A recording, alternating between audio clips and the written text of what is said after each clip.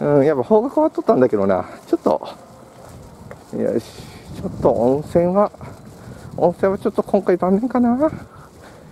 行って帰ってきたらそちょっと無理だよな。うん、残念だ。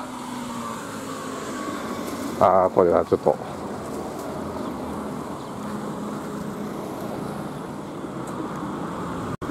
なかなかこれはもう致し方ないことではあるんですけど、なかなか駅前に温泉があるところってなかなかないんですよね。うん、どうしても駅のあるところからちょっと行ったところとかね、えー、ちょっと離れたところになるって、あの駐車場確保してね、やっぱ車のお客さんがね、えー、っていうのが、やはりもう今のメインですから。米山温泉もね、温泉郷があるところっていうと、そこからさらにちょっとずっと行かないといけませんからね、犬山温泉の駅から。うん。アクアイグニスはちょっと下がっていくっていう感じですけど、まあ一応バスは走ってますけどね、う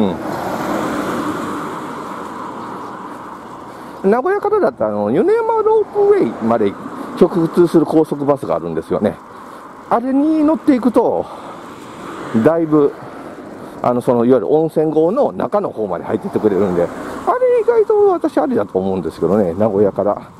まあ、ただ、なかなか温泉を入るために、そこまでね、お金をかけ、高速バスでね、バーっとお金をかけて、名古屋から行こうっていう人が、やっぱ少ないのかなって。でも名古屋って、えー、名古屋の周りでね、本格的な温泉街っていうと、尾張温泉とかね、うん、意外と、あの、ありそうであんまりないんですよね。うん龍泉寺とかか？あとはね、うん。消防署、消防職員どっかに消防署でもあるの？分断かどっかにあるのかな？消防職員専用ってなってますけどね。それらしい建物が見当たりませんけど、いやしかしこれちょっとマスクきついなああ。いや、体に熱がこもる。うん。一応ずーっと多分ね、まだあの、両手塞がっちゃったんでね、地図も見れない状態になってますけど、うん。ああ、この道ずっといたらね、いいと思うんですけど、その前にバッテリーが少なくなってきたな。まだずっと喋りながら撮ってますからね。うん。あ、ちなみにあの、東急の、えー、やつね、面白い構造でしたね。あの、セミクロスっちゃセミクロスなんですけど、ね、セミクロスって、なんて言ったらいいの？ロングシートが端っこについとって、真ん中がクロスになっとって、ね、真ん中、車道の真ん中ぐらいがクロスになっとって、で、両端がまたロングですよとか、ね、あとは、えっ、ー、と、アスナロ鉄道の場合は、えーあそこは、あ、今はもうロングなくなったね。あそこはロングシートがなくなったけど、あ、ここにあった消防、消防署の仮庁舎、仮庁舎なんだよ。そこに仮庁舎ってことあるんですね。確かにすごい仮感がありますけど、大垣消防北部、どっかにまだ作ってるんでしょうね。どっかの整備センターの工場をとりあえず使ってますって感じですね。リップブルー。なんか、なんかあるんですね。ちょ、ろっと、日向ぼっこってなってますね。あ、あ喫茶店も喫茶店で、奥で喫茶店もやってんだ。えー、面白い構造ですね。あ、出た、スーパー三振。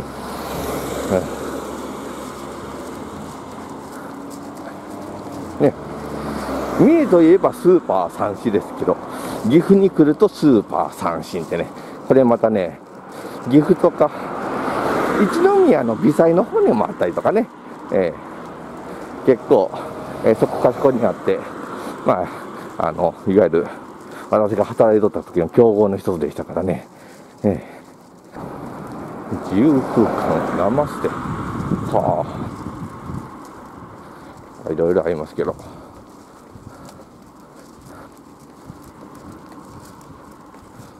すごいピロティになってますね。こういう風な有効活用のさし方とかって流行りましたけどね、最近見なくなりましたね。伊吹堂若湯か。そうそうそう。鮎がね有名。あのねいわゆる魚の鮎ですけど、ねえー、それもあってこの辺りは、ね、若鮎もっていうあの和菓子もねよく見かけますよね。ああ三振潰れたのあら。あら。三振さん潰れてるわ。あら残念だ。あら。もう全く営業してない感じですね。あら。奥がスーパーでこっちにテナントとかが入ってたんでしょうね。なんだろう三振さんってもうあれかな。ここのお店がたまたまなのかなそれとも全体的に厳しくなっちゃったのかな。まあ駐車場の感じを見るとコロナの影響で潰れましたって感じではないさそうですよね、うん、もうだいぶ閉めてから長いことそのまんまもうずっと閉めっぱなしですっていう感じですからね。あら。そうかそうか。それは残念だ。でこのとこウィングあるんですね。やっぱウィングには数が入るんですね。三重県が地盤ウィングは。うん。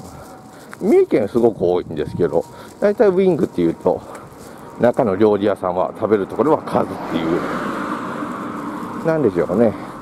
なんか連携してるんでしょうかね。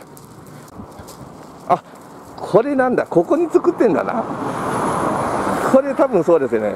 わざわざポスターにこんなん貼ってあるってことは、ここが新しい、あの、消防署になるってことでしょうね。あえー、っと、どっかに書いてある？創生予定みたいなやつ、いや、いろんな方が関わってますけど、えー、っと、外、大垣消防組合北北部消防署ってなってますね。やはり消防署を作ってますね。ああ。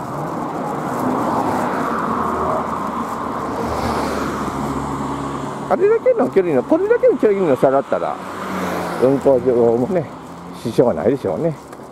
さあ、8番誠と肉丸、なんだこれ。なんだこれは。一択1500円？焼肉屋さん？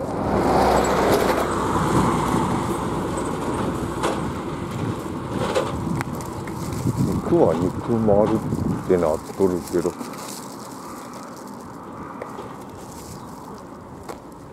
惣菜野菜？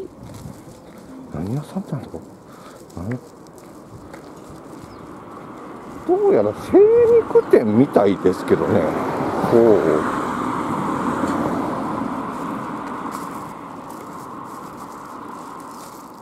ああやっぱこういうところあるとね車の方がスッと入りやすいな。車だったらとりあえずね、食べ終わったゴミね、車の中入れときゃいいですし。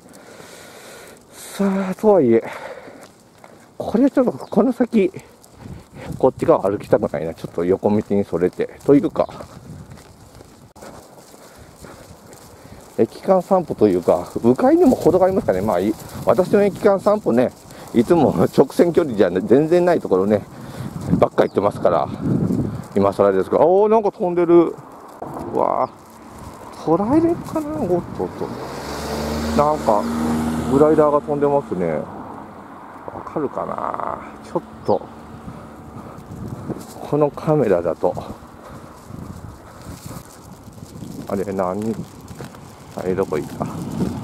ああ、ちょうどね、線に隠れてましたけどね。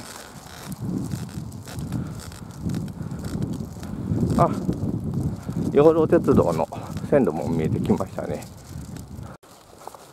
気のせいだったらいいんですけど、今ね、そこにね、養老鉄道の線路が見えてきたんですよね。で、多分、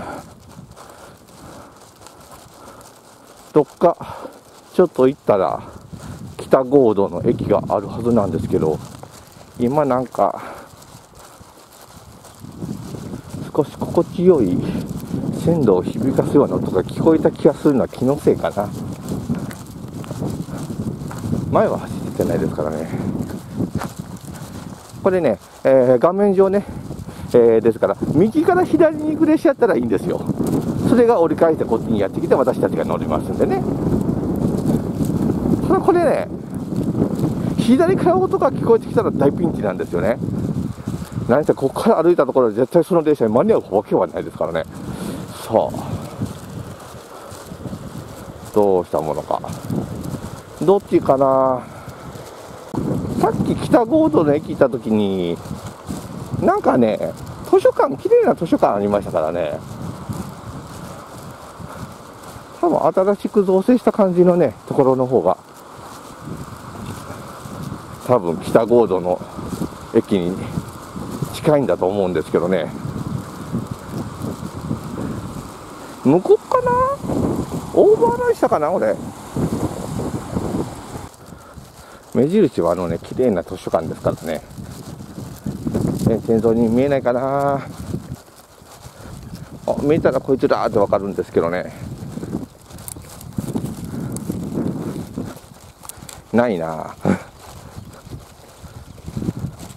まだ先なのかなだって池田町って出てましたもんね、今も案内。ってことはまだ合同に入ってないってことですから、多分これをさらにまっすぐ行けばいいんじゃないかな。すべて予測でやってますけど。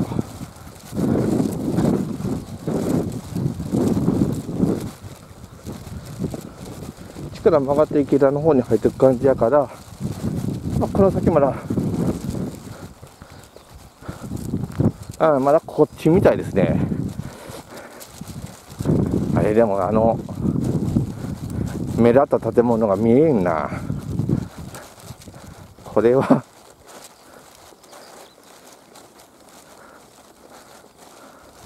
これはなさそうだぞ、だいぶ。まだだいぶ歩かないときなさそうですね。今こっちに降りといてよかったですね。あのままずっとあっちの道通ったら、とんでもない大回りになってましたね。よしよし。リカバリーは効きましたね。とりあえず駅らしきものは見当たらないですから。うん。まあ、ただ旧近鉄なんでね、そこまで駅間は空いてないはずなんですよ。ね、さっきも行きに乗ってきてますから、大体の感じは分かってますからね。うん、よし。問題は今、金婚観光になったらどっちから来るかで、冷や汗ですよ。踏切北神戸第3号。あと3個超えたら。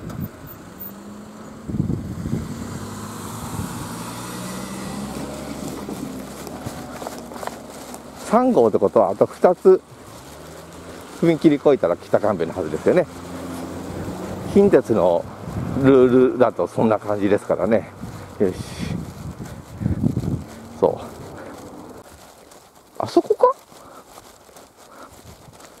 あ、あそこかなあ、そうですね。あれよく見てみたら、角度が違って気づかなかったけど、あれが言うとったおしゃれな建物ですね。はいはいはい。あれが多分図書館ですよ。よかった。道一本でね、とりあえず駅まで着きましたね。よしよしよし。ってことは、どっかで、どっかのタイミングで、私は合同町に足を踏み入れてるはずなんですけど、まあね、こんなところにカントリーさえもないですからね。ねもう合同町は合同町なんじゃないかな。だいぶ預きましたもんね。よし。なかなか来ることもなさそうだから行きましょう。1.22メートルのちっちゃい橋ですけど、人が横になったら渡れそうですけど、なんか結構古めかしい、ね、レンガで赤レンレンガでなんか組んでありますよね。すごいな。で木の丸太でこう触った木のね枕木でまさに枕木ですね。えー、面白いですね。シンプルな駅が出てきました。これが北郷土駅ですよね。そうそうさっきこのね図書館がね綺麗だな。これ図書館なんですって。ええ。ね、すごくオープンで南向きに火がバーッと入る構造でね綺麗ですけど本日焼けしやんのかなって心配になりますけどね。まあきっと大丈夫なんでしょうね。新しくあこっちからだったか。あ。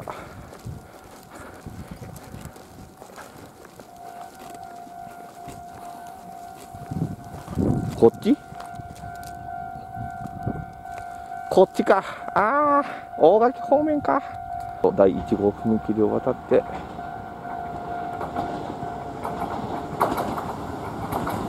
2両編成だ大垣行きですね。はい。ということで見送りましょうか。